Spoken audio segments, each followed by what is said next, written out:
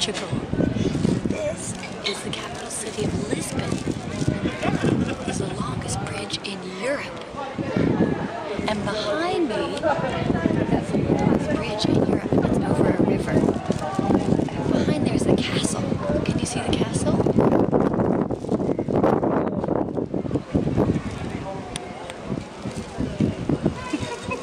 Bye.